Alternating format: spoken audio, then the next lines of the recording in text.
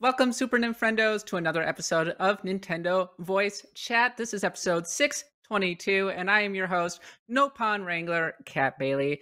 I'm joined by three special guests for a big Xenoblade Chronicles 3 review roundtable. First of all, we have our IGN reviewer and contributor, Travis Northup. Welcome to the podcast. Thank you. Happy to be here. Excited to talk some Xenoblade. Also joining me is Digital Foundry's John Linneman.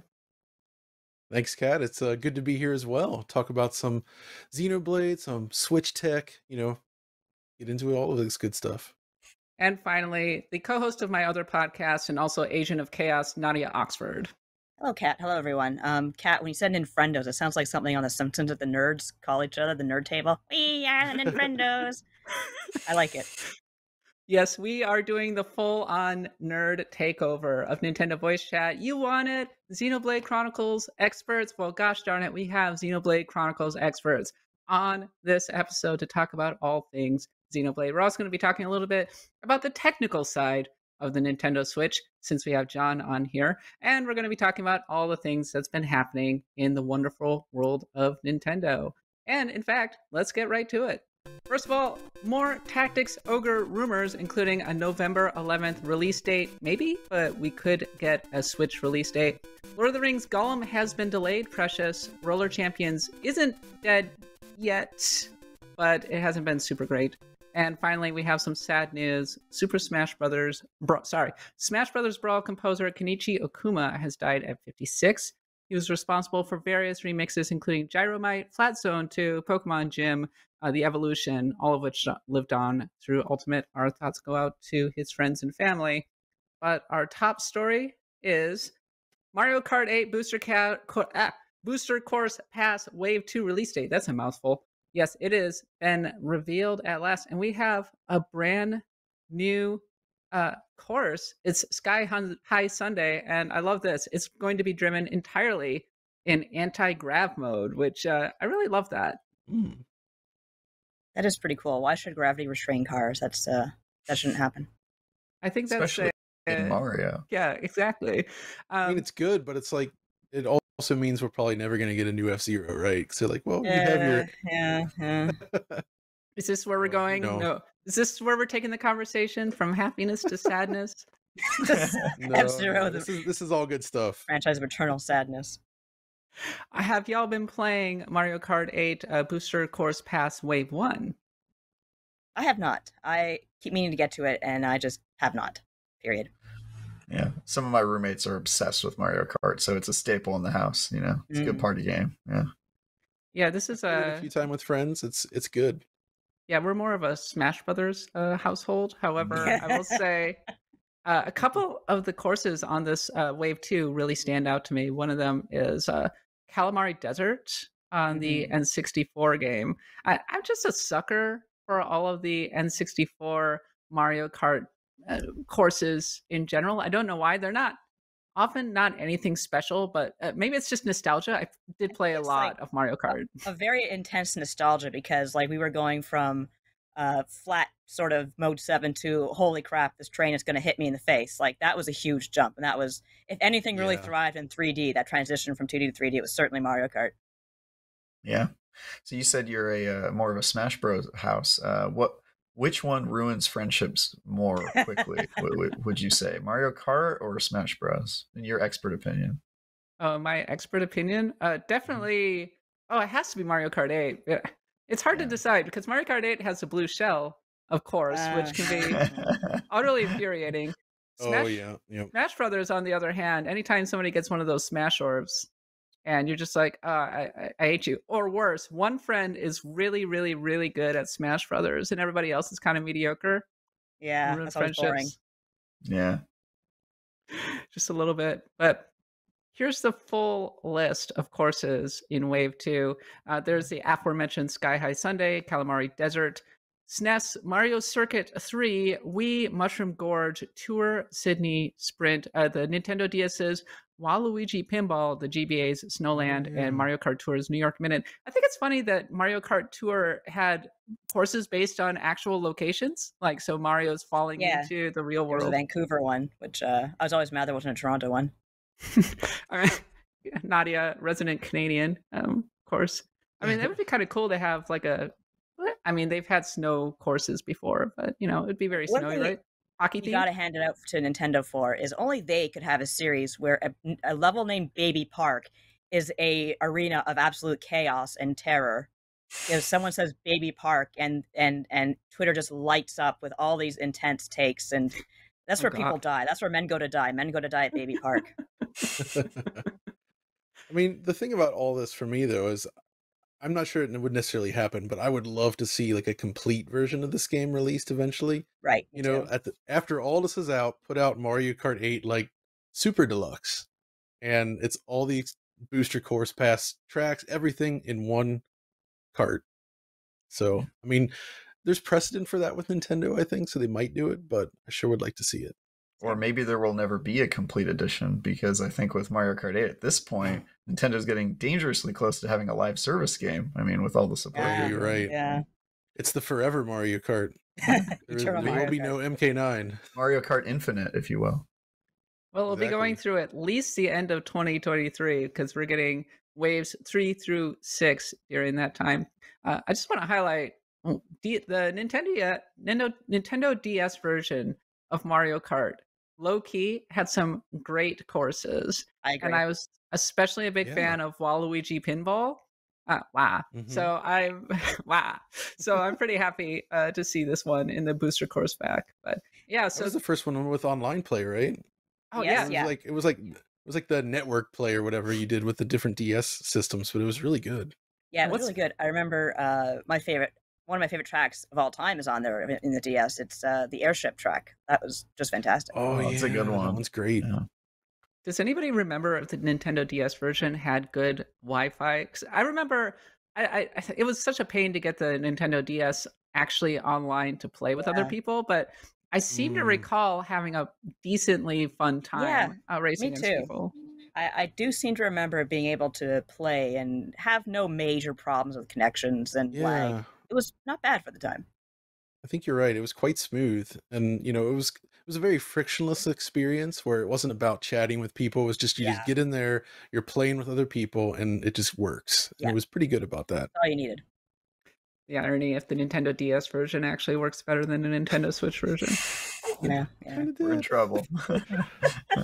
There's your obligatory shot at Nintendo's online service, but it will be available August 4th. The Booster Course Pass is $25. You can get it through the Nintendo Switch online expansion pass. Okay.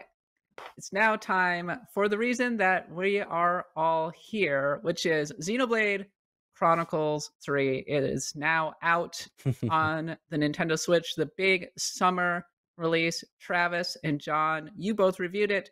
Nadia, you just really like Xenoblade Chronicles, so I thought I would bring you on here uh, to vibe a little bit about Xenoblade Chronicles 1 and 2. But uh, Travis, start with you. You reviewed it for IGN.com and tell tell me some of your high level feelings about Xenoblade Chronicles 3. Yeah, um, I gave it 8 out of 10. Uh, It is a great game. Uh, it's a fantastic JRPG that I spent over 150 hours in. Uh, 150 hours just to do my, my first playthrough, which was pretty much a completionist playthrough, doing uh, uh, pretty much all the side quests because it's sort of hard not to in this game with, with uh, the developments and stuff that they give you. Um, but yeah, it, it's got a great story, uh, characters you fall in love with over the course of the adventure um, some really uh, inventive and creative areas like you can always expe- expect from Xenoblade. Um, and the big highlights for me are that the combat system is drastically improved over uh, one and two. It is uh, super fun to do. They have kind of like a jobs system where you can learn the the character classes of other classes, and that sort of keeps it engaging and changes it up for for your party uh, constantly as you're playing. Um, and then the other big highlight is side quests, which were one of my biggest complaints from the Xenoblade uh, series, is just how grindy and and uh, fetch questy they could get. Mhm. They they really made some huge improvements in that regard. There are side quests that really feel like they should be mandatory. They last several hours to complete. They have multiple you know minutes long cutscenes and and story developments and stuff that you unlock afterward and it, it's uh you know I, I didn't go in expecting to do a completionist playthrough on my review playthrough uh, but i ended up feeling like i sort of had to because there's just so much content there that you could you could miss and that i would have felt bad missing if i if i didn't put myself uh, through it so super cool game um, you know, if you have issues with some of the the tropiness of anime characters, there's a little bit of that. There are certainly pacing issues in the story where they're repeating the same lines of dialogue in three separate cutscenes that they probably could have just skipped over. Uh, they do a little bit of that. Um, has, in my opinion, pretty weak boss fights. They they throw kind of the same samey bosses at you and make you fight them multiple times um, and that sort of stuff. And then, you know, I'm sure John will get into this, but uh, despite the the magic that the developer has done to make this game run at all on the Switch, it, it at times isn't the prettiest game uh, for comparing it to other open world RPGs in this day and age. Um, even if it is a, a pretty massive accomplishment uh, for the device that it's on, but all in all, um, if you love the series, you're more than likely really going to like this one. Uh, and even if you haven't played uh, these games before, three it works as a standalone game. Uh, you, you won't be missing a terrible uh, amount if, mm-hmm. if you just start here. And that's what i would recommend is if you're if you're just wanting to get into the series i, I would just say hop in with three. It's it's a really a great time and and managed to keep me engaged pretty much the entire 150 hours i played it. So that's my big recommendation and you can read more in my review uh, on on the website. So yeah.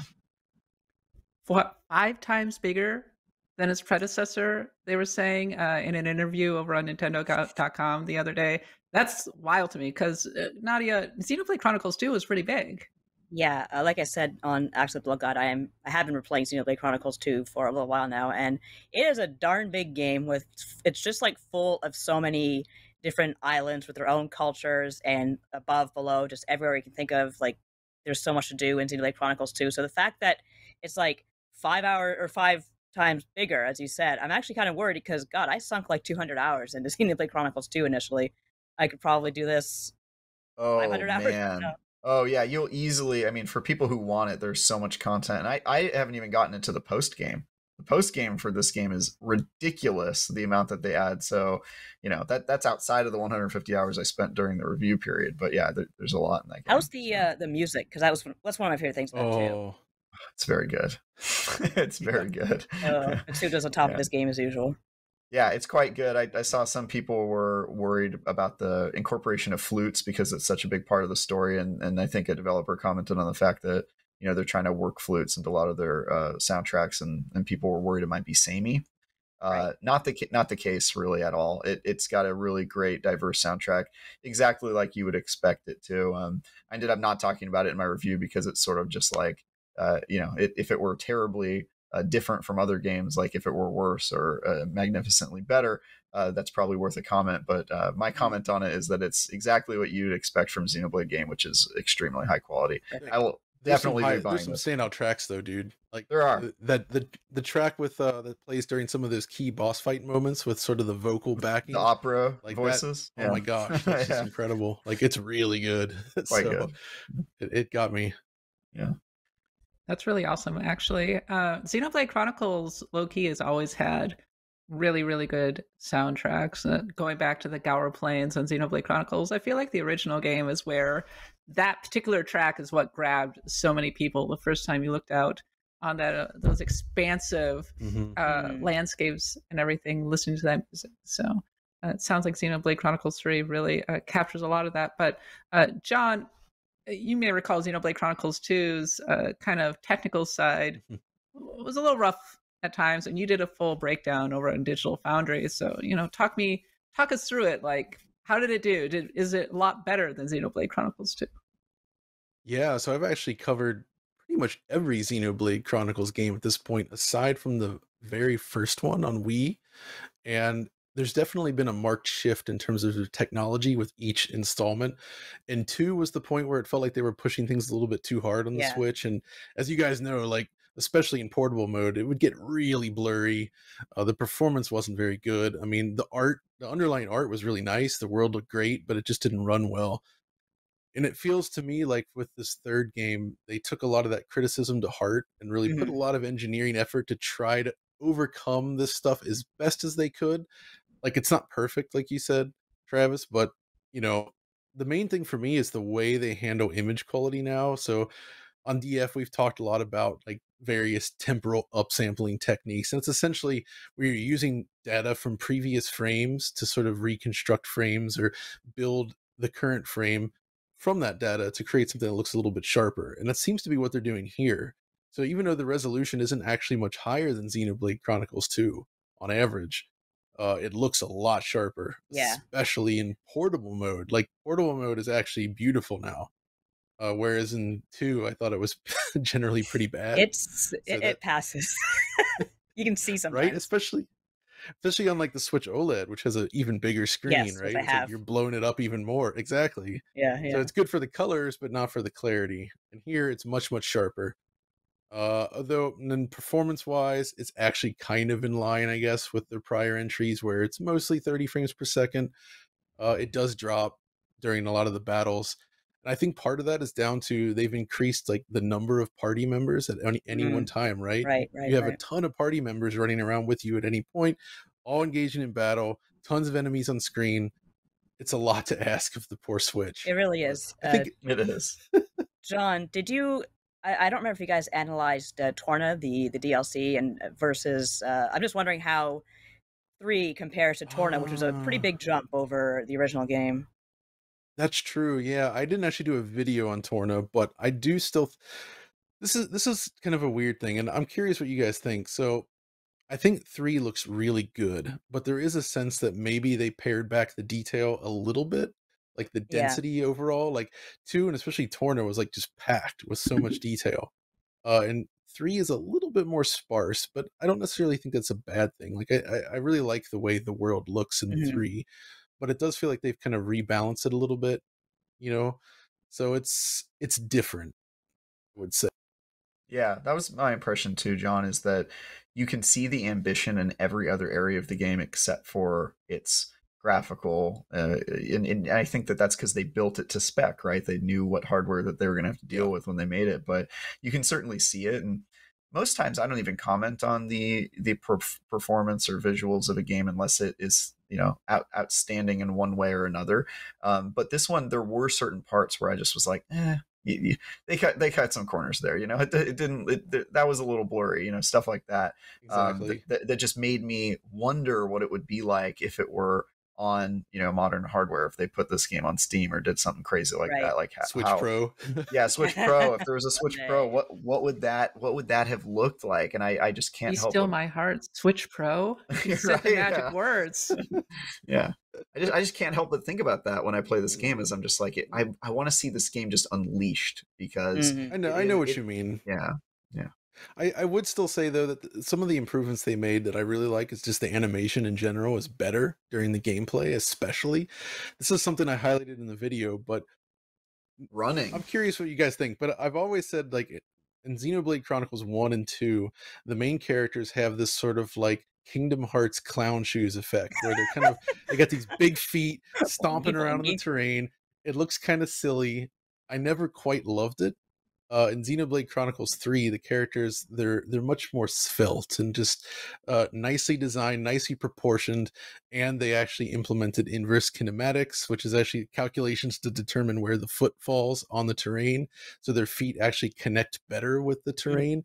So just the act of running around the world now feels better, right? Which you do it so much in this game that it's kind of important, I think. Yeah, uh, Xenoblade Chronicles 2, you're right. It when you walk or run, it does feel a little bit floaty. so you're saying it they kind of improved. Yeah, that. Cool. big time, big time. Yeah, yeah, I think that it reminds me a little bit of the shift from Valkyria Chronicles 2 to Valkyria Chronicles 3, where in Valkyria Chronicles 2 they went very high school anime oh, yeah. with the character designs. Maybe not to the extent that, you know, Xenoblade Chronicles 2 was a giant kind of departure from the original Xenoblade Chronicles, but it feels like how Valkyria Chronicles 3, which I don't think a lot of Americans really played that one, but take my word for it, it was kind of a maybe slightly darker, slightly edgier. You can see it a bit more in the, the actual character designs. They were moving back toward kind of a more realistic look. And frankly, I, I'm just going to come out and say that I wasn't a big fan of the Xenoblade Chronicles 2 designs, especially for mm. the main character. And I, I like these character designs quite a bit better. They're more consistent. Yeah, they are. Yeah. I, I, sorry, I was, I was, was going to say they also match the tone of the game a lot better. Right. So yes. Xenoblade Chronicles yes. 2, I think, had a different tone that was a little bit more I don't know how to describe it other than saying anime. It was a little bit more anime, right? And uh, I think the characters were built around that.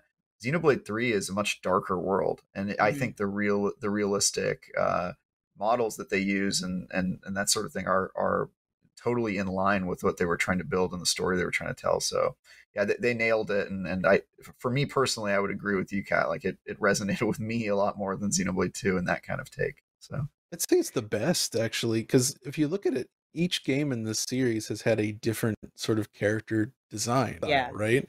Like, and you know, the first one was kind of limited by the Wii, I suppose you could argue, but they've kind of been shifting it around. Z- the the Wii U game, Xenoblade X or Cross, I don't know how you're supposed to say it. Uh, that one, I hated the designs in that one. Like, it, they just looked strange and generic, despite the beautiful world. And then two, as you say, was maybe overly anime not that this isn't, but I think three finally gets the right balance that just feels like it fits the world and the design better. Yeah, yeah, for sure. I would agree with that. Mini question block from James the Third. They want to know: Are Nopons cute, annoying, or both? Uh, both. Nadia, what's your take? well, I've always said on on Axe of the Blood God, uh, please stop trying to make no Nopons happen because they're just like obviously trying to push these things as a mascot. And I guess they are. They're it's too late. They're mascots. I think they are they're annoying but useful. Like I'm again I'm playing two and Tora.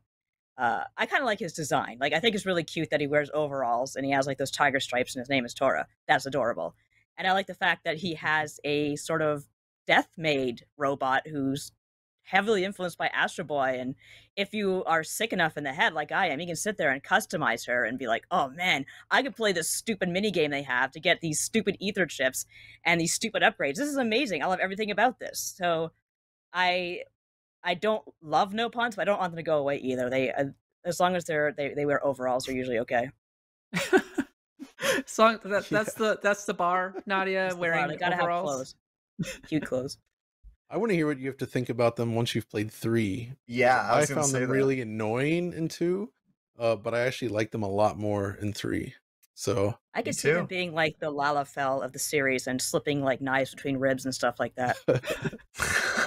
they don't go that route, but I would no. say like they, they have a more like um you know how in, in the first game they were sort of all congregated in a village and they had like a purpose of like, oh, this is a village of like strange people. Yeah. I feel like they they use them yeah, they they use them more kind of thematically in Xenoblade 3. So when you see an Nopon, um, which by the way, I pronounce it Nopon, some characters in the game pronounce it a different way. It's, it's really hard to I've heard there's controversy. Yeah, me too. Um, but yeah, uh, I think in this game, when you see them, like I think of them as like kind of dwarves. Like most of them mm-hmm. are merchants, and they they have like a very specific role in the world that is a little bit like Lord yep. of the Rings esque. Mm-hmm. Uh, that I think is interesting. And then uh, the ones that are your party they have a they have a silly one that if you are into that well, you'll probably like but then they also have one that's kind of more substantial and serious and actually has exactly uh, kind of impact on the plot and in the party's dynamic and so this game definitely made me feel more happy with the role of those creatures in the world versus two which made me feel much worse about them. I was like, all right, they, they, should have left these in Xenoblade One, is what I was thinking at uh, you know in two. But yeah, th- three they they I, they have my respect certainly. That's good. I like the idea of there being kind of like a more dark Nopon. Like I always liked in Narnia, you had Reepicheep, the the mouse with the sword. Like oh, yeah. you could stab you in two seconds flat, but he was a cute little mouse. So I like cute things that are deadly. Good to know. Yeah. Last week on Nintendo Voice Chat, we had Reb on to review Live A Live, another RPG that is now available on the Nintendo Switch. It's a crucial difference between Live A Live and Xenoblade Chronicles 3. One is that Peer likes Live A Live, that's a big one. Also, Ooh. one is much shorter than the other. Live A Live is like 20 hours thereabouts. Xenoblade Chronicles 3 is an absolutely horrifying length, but also quite a bit more mm, ambitious. So I'm wondering, is the length of Xenoblade Chronicles 3 a little bit of a deal breaker? Nope. Mm, I'm not going to go out there and buy a Xenoblade So- Chronicles game and say, "Oh, this better be 20 hours." I think it's established by now that it's you're looking at 100 hours easy with a Xenoblade. game. So I'm not hugely into long games these these days, and I found this one quite engaging. And un- Travis, I didn't stop to do a lot of side quest stuff. I Oh. was very much mainlining it, and I had a great time just doing that.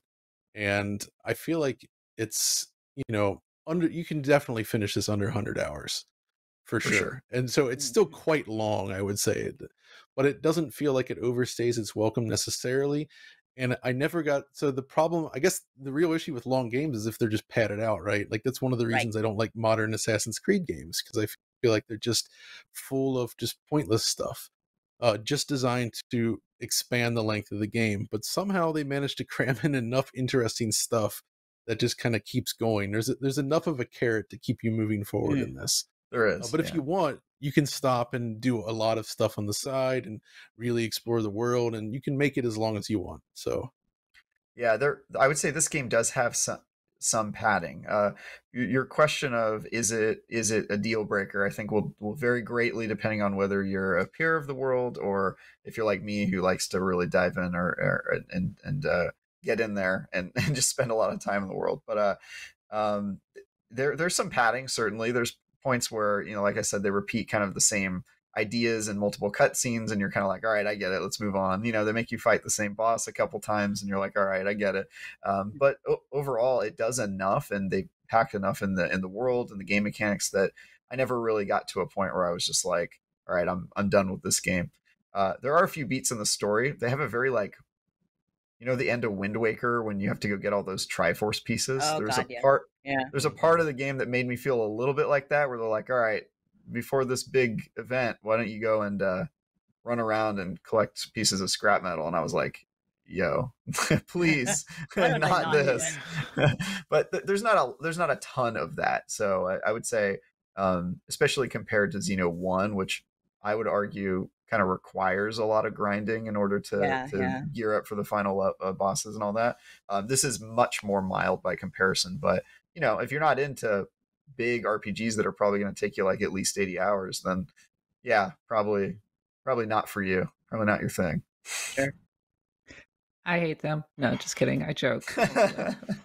no, I I am probably going to invest in Live A Live just because uh, I feel like that one's kind of doable, and so I'm like, okay, I can actually get through Live A Live. How, having said that, Xenoblade Chronicles Three on a, a fundamental level is more appealing to me because I hear all the conversations about the battle system is much more in depth than it even has been before and it's it's quite pretty by Z- uh, by Nintendo Switch Mhm. standards and I think that very long RPGs aren't necessarily a bad thing if I'm super invested in it. Like Bravely Default 2 last year, I put like 100 hours into that game without even blinking twice. You know, it's like those hours just kind of really flew by. So if it's a if it's an easy and I've had and I've had like 20 30 hour games that just feel like a giant slog. So if uh oh yeah, so but it sounds like Xenoblade Chronicles 3 is like one of those games where it's not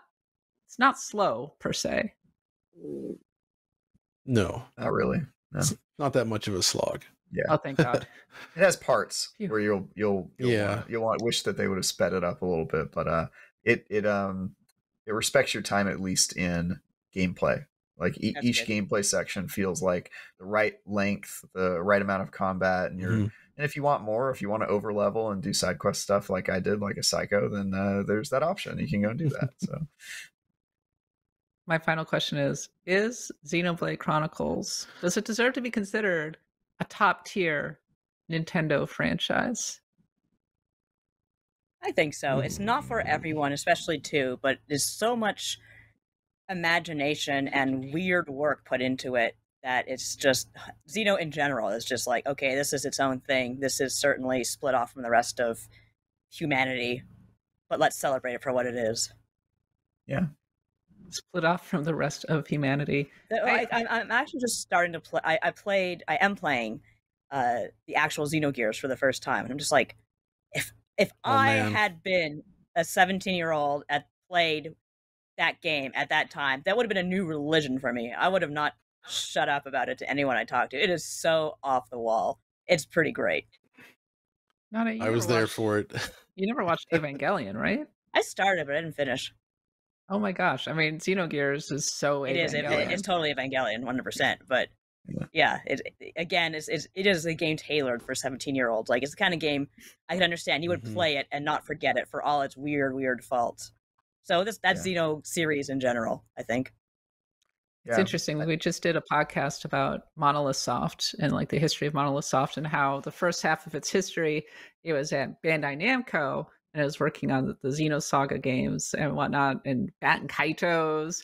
And mm, then it like, yeah, those are good games. yeah, those are great games. And then it fell into, or it found its way over to Nintendo and got kind of a, a second lease on life. And it's settled in really nicely as a support studio for Yeah. Nintendo and also working on the Xenoblade Chronicles games. But I there's still so much of that old school like PS2 Square Enix, PS2 Xenosaga DNA in uh in Monolith Soft in a way that makes it feel just even a little bit different from Fire Emblem, which is the most the other most anime thing that Nintendo has going right now. For sure, yeah. Yeah. But I think this is something they really needed, though. That's the thing, right? Like, this is the kind of game that was missing in Nintendo's lineup, and they finally have this developer who's remarkably efficient at producing these games, like on schedule. Uh, just I don't know how they're making them so quickly. To be I, honest, I'm It's actually really surprised. incredible, Like when right? they moved it up in the schedule, because I was going Yeah, to compete with Pokemon. I said, "That's there's no way this game is not going to be a buggy mess." it's not. It's and not. so like it's a really solid series. And I agree with Kat where it does there is something about it that still feels like PS2 era. And I say that in a positive way. Like I Very actually like that about it. Very loving. But it so it's different than most Nintendo first party releases in that sense. But they don't really have anything else like this. And it seems to be doing quite well. And I find that a little bit ironic in the sense that it seemed like it was very difficult to even get the original Wii game Mhm. released in the West Yeah. at the time. That was a thing. The whole Operation Rainfall stuff, like, didn't want to release it at first, but it seems like it has done so well now that uh, it's become a major pillar for them. This is the Monado's power. This is the Monado's power. uh, yeah, I would say like uh, it, it feels weird to say that this is like considered a top tier Nintendo series if there's only one hugely popular game in it in its uh, you know uh, catalog. Uh, so I would say after the first game, obviously that that is pretty high up there in people's hearts and minds uh, in the JRPG community.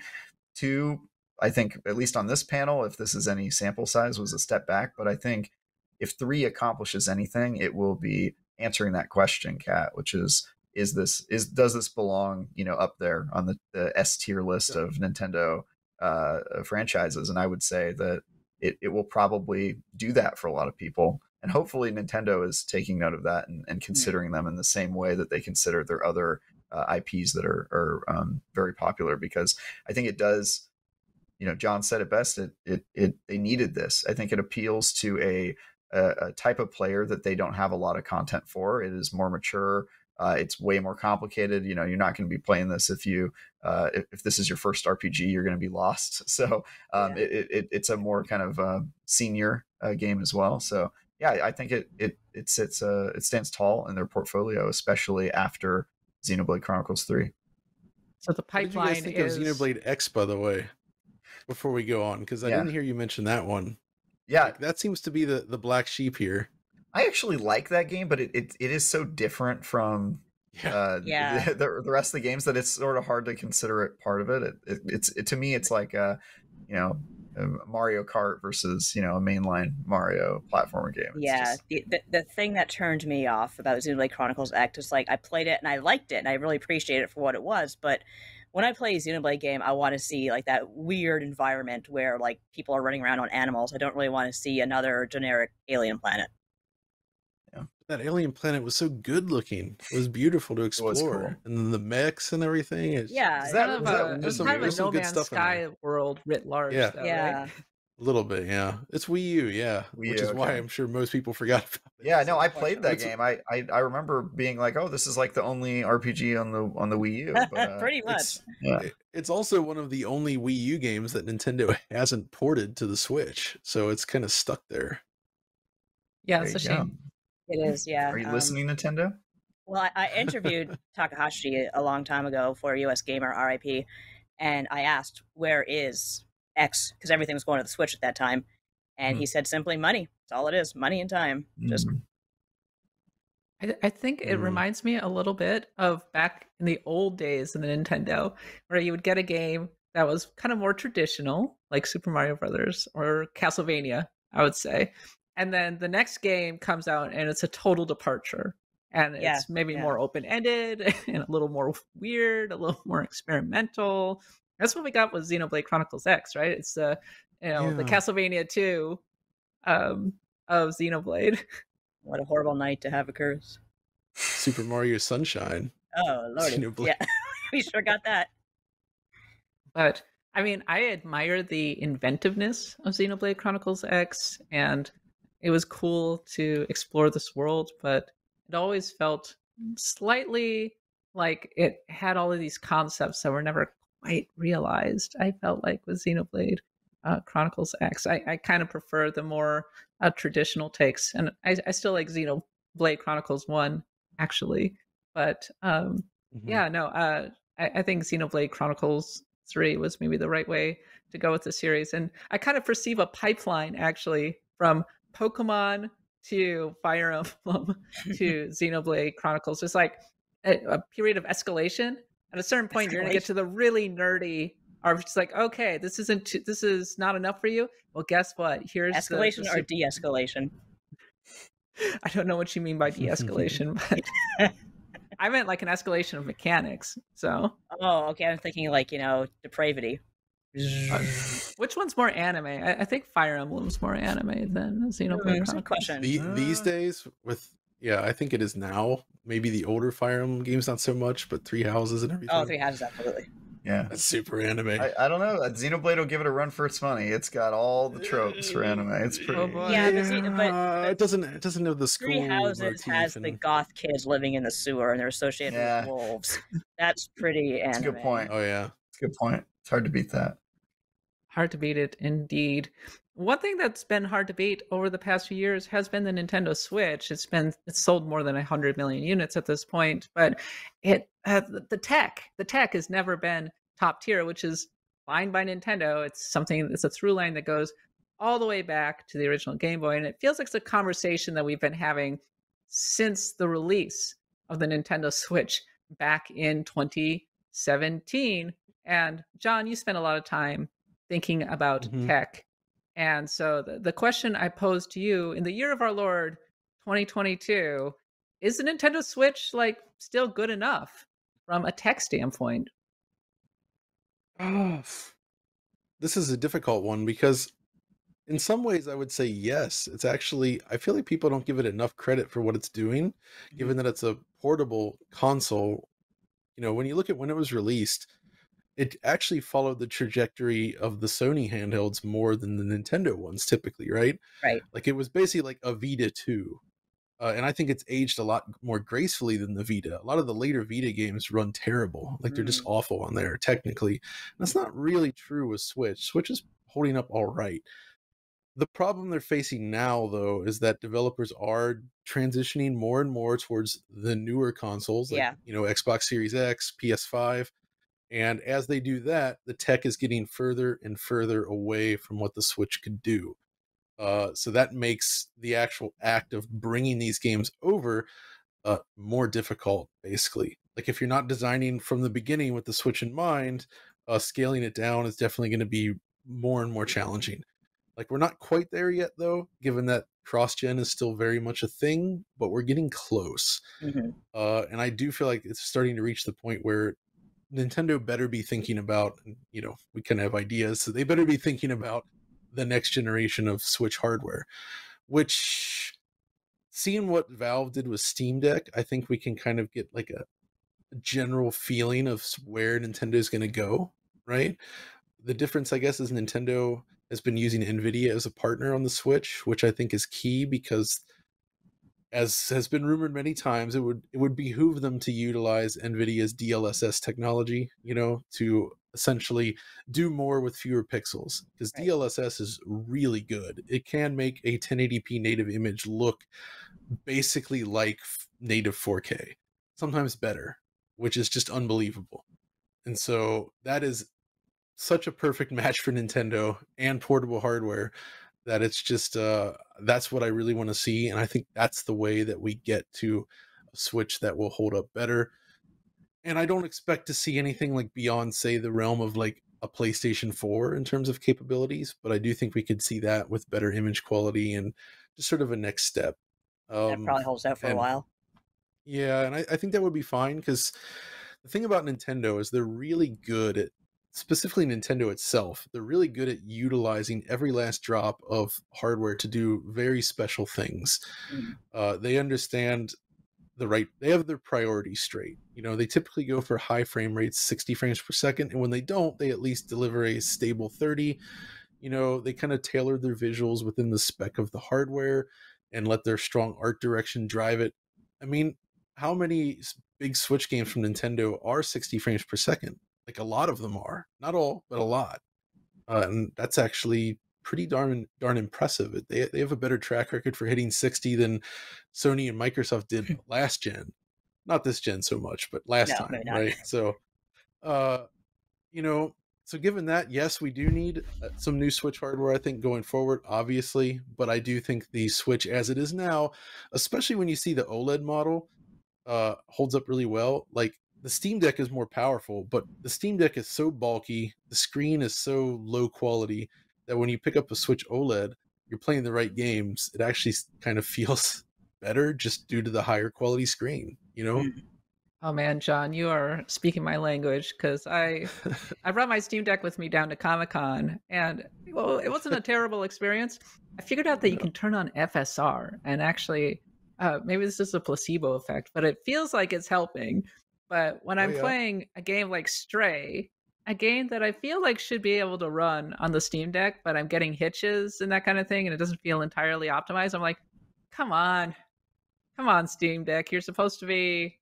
What am I supposed to do here? Like, you're supposed to be a super powerful handheld that I've spent like a thousand dollars on, but you can't even handle freaking Stray, a game that the yeah. D- the Nintendo Switch totally could. Come on the thing is though is you're actually bumping up against what we on df have termed the stutter struggle hmm. so uh, alex our pc guy has been running into this basically every game that's powered by unreal engine 4 every game without fail except for like maybe gears 5 every Monster other Hunter. game has no no no unreal engine games specifically mm-hmm. unreal engine games on the pc have this issue with with compiling shaders that causes stutter no matter how fast your pc is mm. and it's sort of bringing up this issue where so, a lot of PC releases these days are just not performing as well as they should. They have issues like this, even though the hardware is technically a lot more powerful than, you know, the consoles. And it's giving people a bad experience. They don't necessarily know why. And of course, you will still see this on the Steam Deck as well. Uh, and Unreal Engine games typically don't exhibit this problem on consoles, right? So they may mm. not have the top end performance, but they can they have their own advantages. I before people yell at me, I know Monster Hunter would Monster Hunter Rise Sunbreak was done in the RE engine, and I'm just constantly oh, right. impressed Sorry. by the the power and the flexibility of that. Like, and I, you know, I've been playing Sunbreak on the Nintendo Switch, and that game looks amazing on the Nintendo yeah. Switch actually, and holds a pretty steady frame rate despite a lot of stuff being on the screen mm-hmm, at mm-hmm. once and uh, it's an impressive accomplishment actually maybe low key the most impressive technical accomplishment of the generation for the Nintendo Switch. I mean, RE engine in general was awesome. I mean, it just it looks fantastic. High frame rates, beautiful graphics. They got it running on Switch now with this. Monster Hunter looks amazing on there. Yeah, I agree completely. It's a it's a showpiece title for the Switch. I think it all comes down to what the studio can do. Like Nintendo's really talented at Monolith. Soft is apparently very talented at getting everything out of the Switch. We've talked many times on Axe the about Dragon Quest uh, 11S, which just runs oh yeah incredible on the Switch. That's so another Unreal one though. which is Was it. Unreal on the Switch? I thought it was built back up. It, from- nope. It's, Really?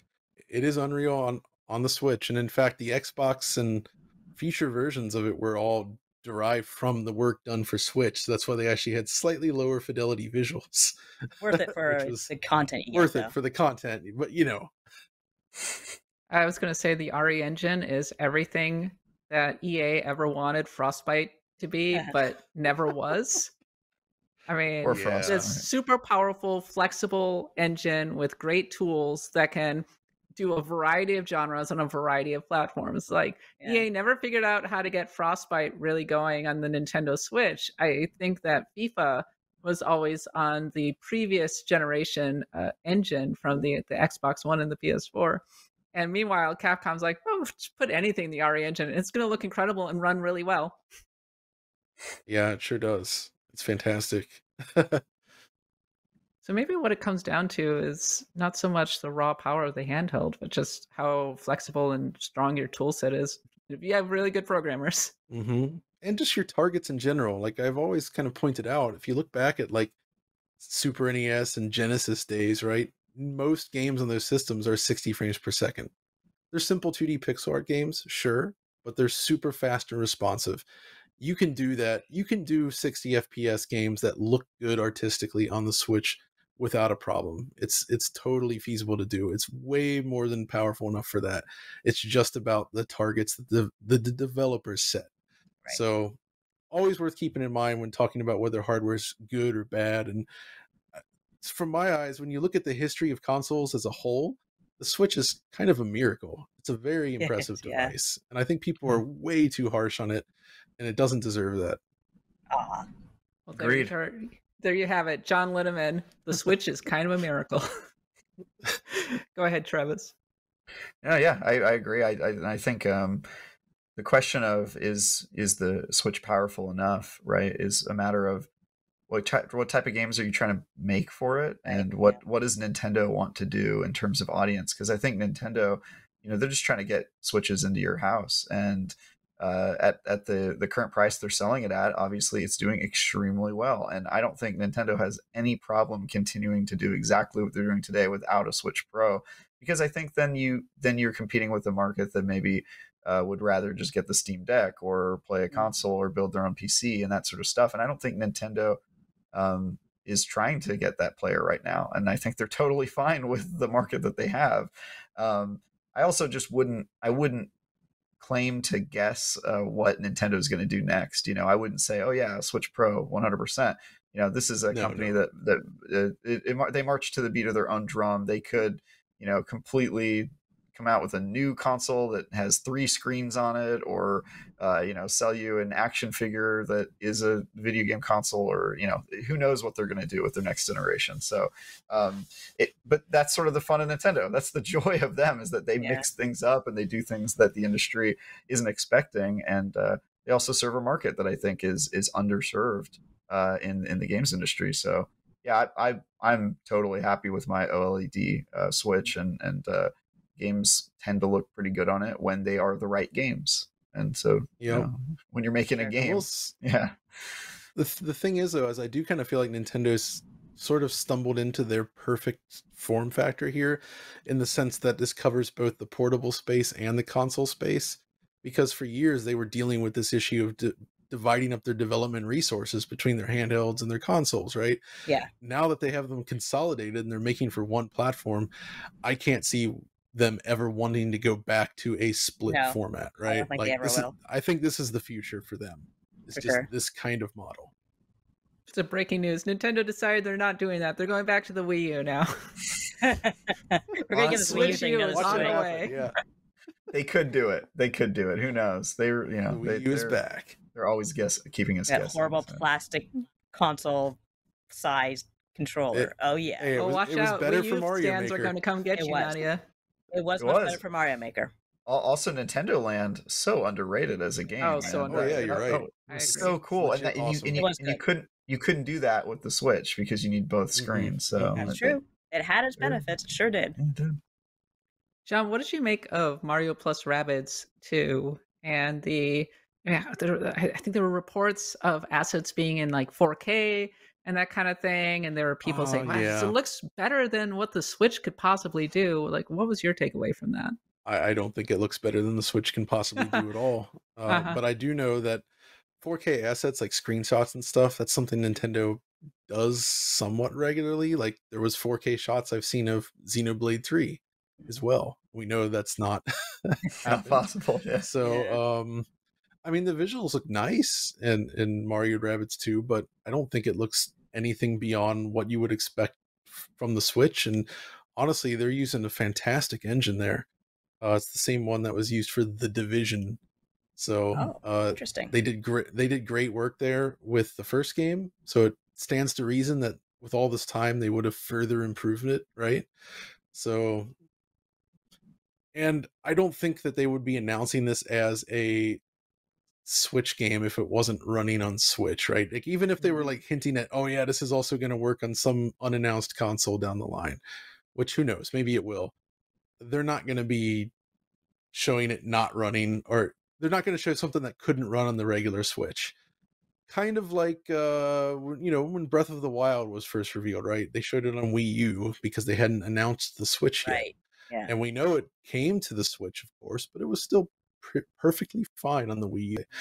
So, you know, whether there's a new machine for this or not, I don't know. But I think what we're seeing here is completely in line with what the Switch can do. I think so. Yeah. What is the biggest thing holding back the Nintendo Switch right now? Ooh, Online. I think online's a big thing. Yeah. Um, Nintendo just has so many opportunities. Like, I shouldn't really praise the company for not making like you know games as a service games, but when you look at like something like Mario Kart, here's some new tracks. Oh well, it's about time. This game has only been out for ten thousand years, and you're only now adding tracks, lots of tracks to be, to be fair, to a um, a game that's been wildly popular since the release of the Switch, since the game's released on the Wii U. Even like it's probably the best game they had in terms of sales. So stuff like that, stuff like Animal Crossing, like they just not handle that the way they they could have. They could have like we could still be getting regular content drops and people will be playing the game like crazy, but that's just not what they do. And they could, but it, it- it's such a paradox because yeah, this Nintendo could do this and make ten million dollars, ten billion dollars, but they're Nintendo and they do their own thing, and that's what makes them Nintendo. They're frustrating. it's a frustrating I- relationship. see, I actually like this. I'll be honest. I'm not a fan of online gaming. I don't like the direction the industry's going with digital stuff. I, it's Right. not for me. So I appreciate Nintendo's dinosaur-like approach to this because it fits dinosaurs like myself perfectly. Nintendo So out there uh, for the dinosaurs. I'm a Exactly. Some somehow though, kids still love it, so that's great. That's what matters, I actually yeah. think it's so. I don't want to see the online sh- improve all that much, to be honest. I, I it's not it's not something that interests me that much. I think it's fine enough for what it is. If you really want to play online, there's other platforms for that. Uh, as far as the Switch itself, though, I do think one thing that has never been addressed, and I'm I'm kind of flabbergasted by this. It's the Switch Joy-Con drift issues, right? yeah. like there's still this problem all these years later they've never actually truly fixed it and to me that's baffling because nintendo hardware is traditionally known for being super robust you can throw a gamecube down the steps it's going to still work just I'm gonna try it right now. uh We'll do this. all right yes uh and yet these these joy-con i haven't had too many problems with it but i know a lot of people that have and they still have Yeah. same. even with you know the switch oled joy-cons that new model comes out the biggest problem is like the switch lite if you get one of those units the joy-con well the joysticks You're start to go bad in that you're in trouble right so that's uncharacteristic of nintendo and i'm a little surprised they haven't found a way to fix it it's strange But could the Nintendo kinda Switch su- survive uh, the Persian Gulf War? I don't know. But No. probably not not like the game boy it turned into five pieces in two seconds flat. I think the Nintendo Switch is actually a really just neat design. I, I love the concept Mhm. of the Joy-Con, even if uh, it's been I have like a million of those dang things flying around all the time.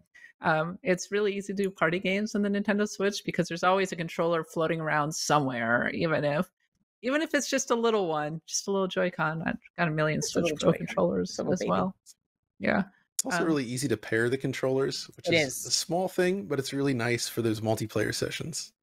Do you think we'll be seeing a Switch Pro anytime soon? Is has the time come, John, or are we Mm. just or is Nintendo just going to keep rolling? It's hard to say if what they would introduce would be a Switch Pro or just like the next Switch. You know what I mean? We're kind of at that point it now, aren't we? It's it- been five it years. Could be right. It doesn't have to be uh like the PS4 Pro equivalent. It can just be here's the next Switch. Uh and I don't know what that would mean for their market. I'm sure they're actually terrified of doing this because Yeah. they've always struggled with these generational leaps and the Switch is such a good thing for them right now. But I feel like if they do the jump, they really need to continue what they've started with Switch. Uh, it should be backwards compatible. I think it would be absolutely ridiculous to release a new Switch that's Yeah. not, uh, given how much people have invested in this platform.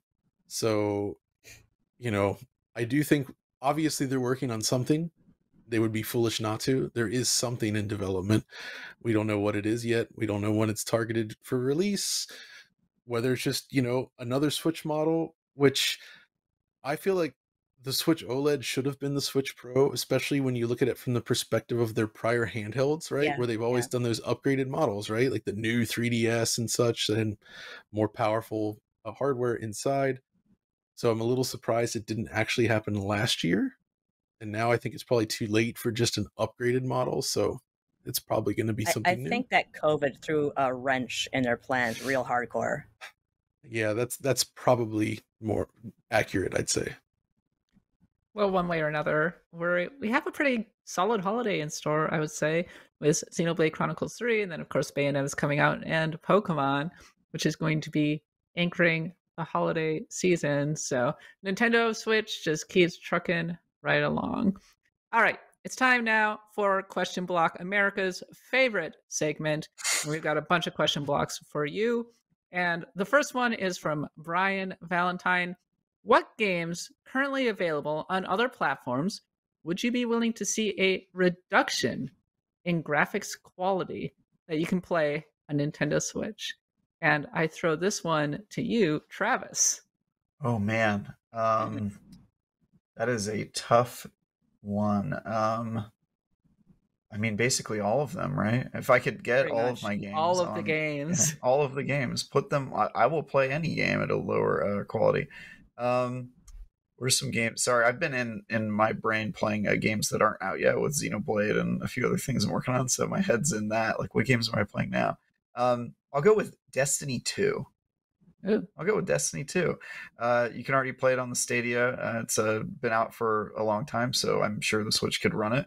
And if it ran at a lower quality, but again, it's the the, the question is online and can it work? And Yeah. can you do voice chat in the Switch and all that stuff? And I would probably my use case for it would more be when I'm you know on the go and I just want to hop on and play something. Uh, you can play that game on your phone now, so put it on the Switch. Why not? Mhm. It's funny because you can play practically everything on the Nintendo Switch at this point. Even Pretty much. long wanted uh, ports are finally Yeah. making their way over. Uh, how about you, John?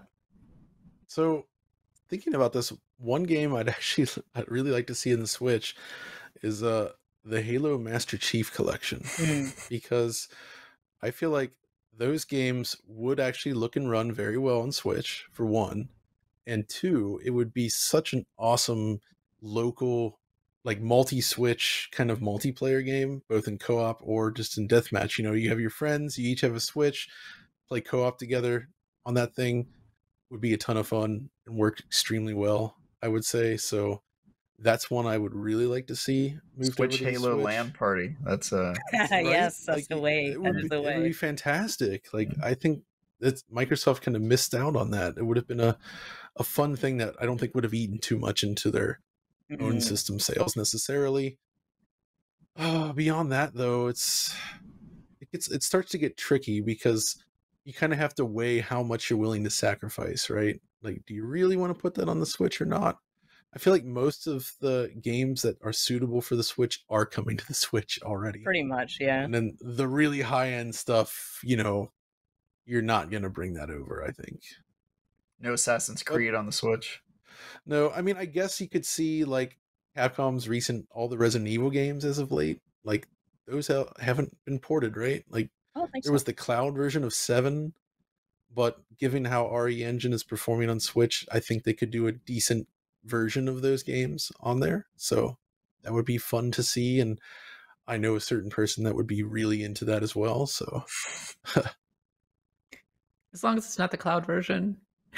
No, please. Yeah. No more cloud versions. No, no cloud versions, please. Those are I'm bad. Those are so bad. Don't do that, please. How about you, Nadia? Uh, I largely agree with what John said, but uh, just I guess put Final Fantasy 14 on there, ruin my life further. Why not? Sure, why just not? play it on the go, destroy everything I, I know and love. We said uh, online wasn't wasn't a concern, but then we got three online games as our yeah, answers. Halo, yeah, we're all hypocrites here. Yeah, just Welcome to Hypocrite Hour. I, I guess the question is: Is the age of the impossible port over? Because we were kind of mulling over what we wouldn't mind seeing coming over to the Nintendo Switch with so many of the most powerful games. Like, okay, so I own a Steam Deck, as I may have mentioned, and when I look at the games that maybe could work on the Steam Deck and not the Nintendo Switch, some well, Doom 2016, a game that was ported to the Nintendo Switch and ultimately was fairly good, but I would rather play on the Steam Deck. Um, or uh, the God of War, or Horizon Zero Dawn.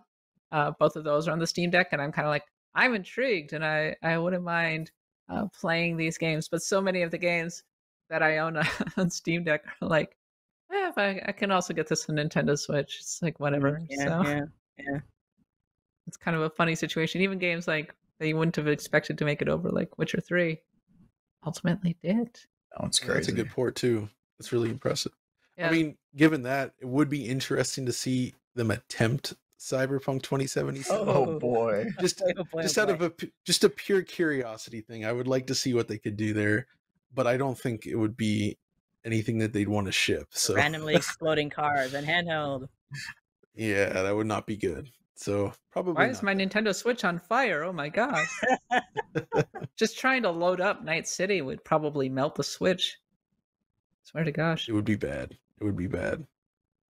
Nadia, this one's for you. Matt Bates says, My girlfriend and I are planning to get another cat soon, and she rejected the name Samus for our first cat. No. But I will be, which is ironic because a good friend of mine has a cat named Samus, actually. But I will be pushing hard for the next cat to have a video game character name. Besides Samus, one of the best Nintendo characters to name a pet. Growing up, I mean, half my pets at least were all named after either Hungarian swear words or or, or Nintendo characters. So I had I actually had a rat named Samus, so that's a great name for any sort of animal. Like it's just like wow. such a simple, good name. Uh, I also had mm-hmm. Rush, the dog, growing up. That's a great. That was a Ooh. great name for a dog, and he was a great, great dog. And uh, I have a cat, Tango, who's also a Mega Man reference. Mm. But uh, going back to Cat hates me because I'm really into Final Fantasy 14. I, I, dragged Eric into it as well, our other co-host. So I would name my next cat G'raha Tia if my husband let me. So because I have a problem with cat boys, but Samus is a great name, and I'm really sorry you weren't able to get it because I like names that are kind of like. Actually, I had a cat, Cammy. See, and the reason I named her Cammy is because she's a tortoise shell, so she had camo in a way and she had the personality of Cammy, who was, uh, well, you know, a little bit spicy, and well, she had real tortitude. So that was also a great name for a cat. And uh, yeah, just get the games that, sorry, get the names that have like the double meaning because those are the fun ones. Uh, another double meaning name I had was my cat Dante, big black cat. That was, of course, Dante from Devil May Cry. That was uh, Dante from uh, Dante's Inferno, I guess, and also Dante from Clerks, because my husband was watching Clerks at the time, so we we named a, our cat Dante. So yeah, simple syllables, fun names. Um, one of my get favorite stories. Get a is... teapot. Get a teacup pig and name it Ganon. Aww, I actually saw Ooh. a cosplay once where someone used a teacup pig as a poogle. It was uh, it was very very cute, but I, I hope that uh, I hope that uh, that pig is now okay, not bacon somewhere you want to get confusing, name him after Pokemon. Litten. Litten's a great good. name. I know I might name it, I might name my next cat Litten. I think that's a good name for a cat. Or you could name him Mario in a cat costume. I was uh, one one story I told on Axe the Blood God is I was a groomer, a dog groomer back in the day, and I met a, a Boston Terrier named Super Saiyan Goku three, and uh, that oh, was man. that's a pretty great name. You can't beat that name, so don't bother. oh no. It's a great and name. the mother was like, "I'm so sorry." And I said, "No, that's amazing." The more extra, the better, honestly. Yep, for sure. Phil Mansfield wants to know why is no one talking about Digimon Survive when it's triangle strategy cross Digimon? And I throw this one to the panel. Oh, oh, Travis is raising it. Travis, Oh. tell us all about Digimon. Yeah, the reason that nobody is talking about it is because uh, the game is currently not pre pre-orderable on any online stores, and the review codes that were supposed to come out much earlier are still not available. And so the game comes out Hmm. today, and IGN's reviewer, who has yet to be announced, um, has not received that code yet. And so uh, there's something real weird going on here. This game got delayed a couple times, and it seems that nobody has really played it. I believe it came out in Japan today, so I guess people can play it. But on the PR front, in terms of transparency or you know giving more information about this uh, game or letting uh, people in the industry play it and give recommendations early, that appears to not be taking place. So that's the reason nobody's talking about it. It seems to be intentional on the part of the um, publisher slash developer. Interesting. Weird. Yeah, super weird. They and really blew usually up not the a good marketing on this game, didn't they? Yeah, yeah. Uh, usually not a good sign. I've I've reviewed a couple No. games where uh, where we did we were supposed to get codes and then didn't until you know after the game came out, and neither of those games in 2022 ended up uh, being very strong. Um, they were fun to review though, so we'll see. Uh, but yeah, that, that's the reason. It seems to be intentional on their part. Hmm, Interesting. That's really too bad because the Digimon games on the PS Vita were well received, and I think there's a lot of nostalgia Mhm. for Mhm. Digimon. And the initial stills of this new game, Digimon Survive, were, I, I would say, favorably received. So um, they really dropped the ball, I think, on actually being able to market this thing and get it to a wider audience. So Shame. Mhm. all right, let's wrap up what we with what we have been playing. John, what have you been playing? All right. Well, mostly retro stuff. Uh, I've been playing all of the Klonoa games because Nice. I am working on a DF retro on that series. When I say all of them, I mean all of them, including the volleyball game, uh, Hmm. Klonoa Heroes, the RPG on GBA, and of course the mainline game. So love that series. Enjoying replaying all of them and then writing about them, doing video. But on the side, I don't know why, but I've I'm about halfway through replaying uh Paper Mario and the Thousand Year Door Oh, for some great reason. choice. Nice. Great choice. So it's just been so long since I played it, and I was like, you know what? I need to replay this game. Does it and still I have hold been up? It's been a enjoying it a lot. It it holds up a lot better than I expected. Cool, For some reason in my mind, I was like, oh, this is probably not going to age that well. But no, it's it's beautiful. It's super snappy. I still love the battle system.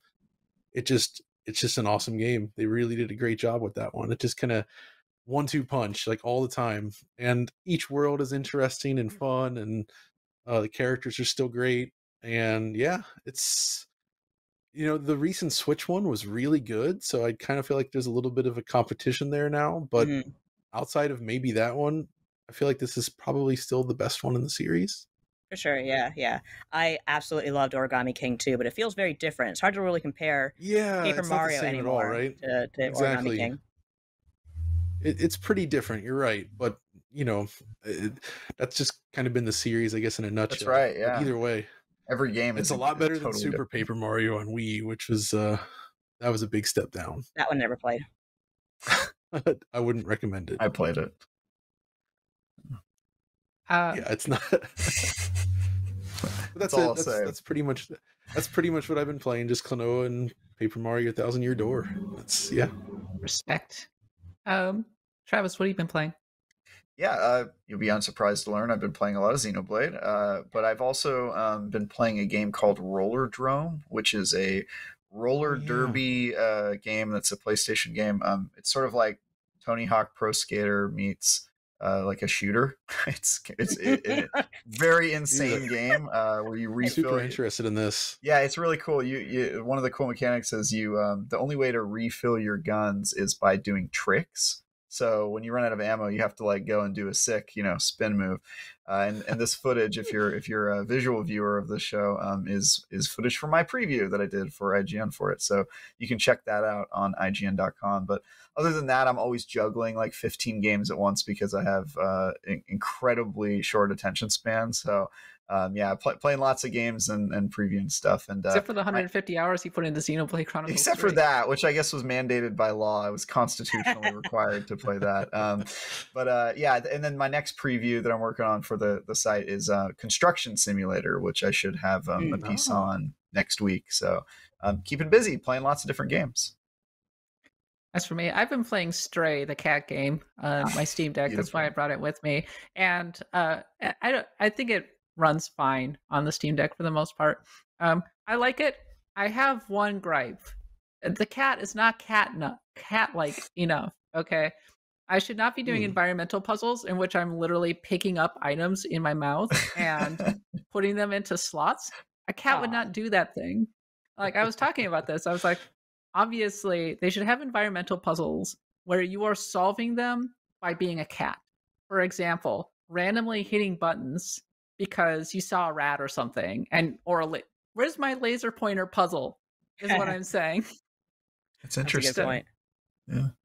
Everybody's crazy like for could... the cat game uh should be coming out on nintendo switch at some point what were you gonna say? I was going to say, if they wanted to make it a true cat simulator, they'd have to make it so that the cat does the opposite of what you want it to do with the controls. Exactly. You no. Know, you pre- yeah. Press yeah. you press left, and he just sits there. Are we watching Aww, Doom right. as a I love cat? that we're watching a Doom mod with Stray. this is amazing. Yeah, I'm like, Dude, is this, yes. cat being chased by a cyber demon? Am I seeing this right? now that that I want to play. It's uh yes, that is amazing. Oh my god. Stray Sorry, very, very quickly became a meme game because it had the the press B to meow button which uh, oh yeah, inspired choice, practically game of the year just for that. And I do love like scratching at the carpet. I could just do that all day as well. That's my little cat. I'm surprised character. somebody hasn't modded in press B to Jason into that yet. They have. Well, they, that already have. happened. They, oh, they that have. happened. That oh. happened immediately. It happened the first day the game was out. Yeah, yeah. The, Amazing. I think out of the animal focused meme games, uh, Goose Game is maybe better uh, just because I felt oh, yeah. much more like an angry goose in Goose Game, whereas in Stray, yeah. I'm solving environmental puzzles with a little robot. Yeah. But it's cute. I'm going to play through it. Yeah. So if you want to be um, more like a cat, you could just um, refuse to advance the story and stay in the opening area and just kind of oh, chill. Yeah. You've cracked the code. Just stay go. there, just, just like there, room yourself, hang yeah. out, sleep. Yeah. Find a way to get under the player's foot while they're trying to do something and because you want to be fed. anyway, it feels like a given that this is going to come out on Nintendo Switch, and it's probably going to run better on the Switch. So, um, Nadia, what have you been playing? Uh, like I mentioned earlier, I've been playing a lot of Xenoblade Chronicles 2, just kind of going over that again. And weird game, but I still love it, especially that soundtrack. Like everything just oh, about yeah. that game is elevated by that soundtrack. It goes hard. But also been playing, as I said, for uh, Axe of the Blood God, Xenogears, the original, because I never played it. And it is whacked out. Like in the best possible mm-hmm. way. Like it is so odd. Yeah, so I'm enjoying that for what it is. It's a little hard for me to play because um, number one, I'm playing on the Vita and my eyes, um, I'm really overdue for a visit to the eye doctor. I can't see the screen that well. And one problem I always had with uh, kind of those 3D early RPGs is swinging the camera around, which makes me kind of ill because with Xeno with Xenogears, you press L or R and the camera goes hard. It's either like I'm going all the way over here, or mm-hmm. I'm make, moving like a tiny pixel. And whereas I'm, I'm so used to just taking a second control uh, analog controller and just adjusting the camera how I want. So it's a little hard to play. It certainly has its retro feel to it, but it's you can certainly see this is where it all started. Like this is why I I am so excited for Xenoblade Chronicles Three. It is just something else. That's it. Well, that's about all the time left we have for this week's Nintendo Voice Chat. Follow us on Twitter at NVC Podcast and submit your question block questions on the NVC Facebook group. Thanks to our friends in the control room, Red on the ones and twos. And most of all, thanks to all of you for hanging out with us. And remember, NVC is the only place you can get the thing. Get the thing.